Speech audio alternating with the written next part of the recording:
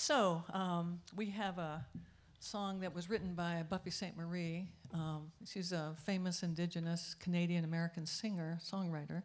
And she wrote this song called Welcome Immigrante decades ago. And it's about our need to welcome immigrants to America.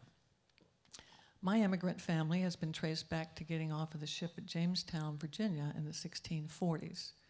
And they haven't fell, fallen very far from the tree. They're all still back there. Um, those relatives that came over on that boat were desperate. They were either in debtor's prison, starving, being persecuted for their religious beliefs, or all of the above. And do you think for one minute that today's immigrants who leave their homeland with only the clothes on their back, while leaving their family behind and leaving their native language, that they just want to see what's on the other side of the mountain? No. Either their lives are in danger, they're facing starvation, or their kids might be stolen for slavery or worse. The immigrant that I most admire, some people here in the audience know uh, from Silicon Valley, his name is Gus Camerlinga. At age 15, Gus crossed the Mexican border to the US with no adults or family and did not know English. Why? His father was violent and abusive, and he feared for his life, and he had no future.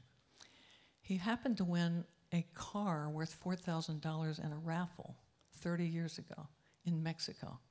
He sold it for cash. He paid $1,200 to a coyote, dispersed the cash in different parts of his clothing, crossed swamps, went through a gang cartel crossing a river.